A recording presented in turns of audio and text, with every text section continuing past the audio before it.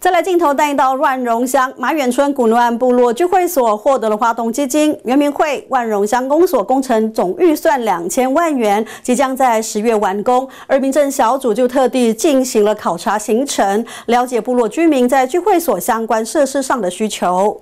古奴岸部落聚会所获得华东基金、原民会、万荣乡公所的相关预算的补助，目前执行进度达百分之九十五。民政小组总召张怀文、副召赖国祥、议员周俊佑、徐子芳、简志龙，在听取原住民行政处的简报之后，也将协助其他设施的预算争取。这个马远聚会所，呃，这个新建工程目前。呃，已经完成了百分之九十一哈。那周边的设施以及有一些要充实的部分哈，那我们请原民处陈处长呃尽量来协助他们哈。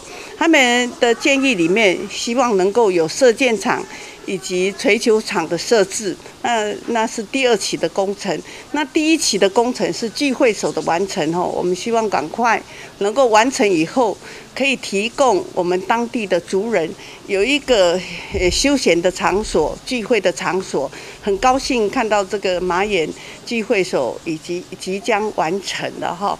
马远村长、乡民代表以及部落会议主席也都提出需求，如聚会所的迎风面、遮雨棚、停车空间的规划。射箭空间都将在完工之后争取经费来执行。聚会所基本上是原民的部落都需呃期盼需求的一个建筑物嘛。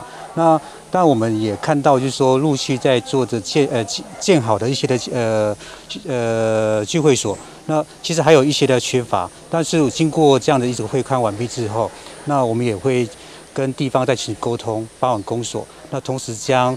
去跟县县府、跟中央去争取二期的一个建设经费。那所以说，在这边的话，也感谢我们民政小组这样子一次来在会刊，同时能够清楚了解部落跟族人的一项的需求。马远村古努安部落聚会所执行进度已达百分之九十五。不过，如果是所需经费比较少，我们是不是拜托那个建设科科长哦？如果依我手边的资料，假如有减做的啊，假如有啦。好，有因为这个呃地形地貌调整有减做，而能够让出一点点经费，有没有可能优先先解决这个遮雨？哈，对于讲台后方壁画的图腾争议，也将会进行协调。记者林杰万荣乡采访报道。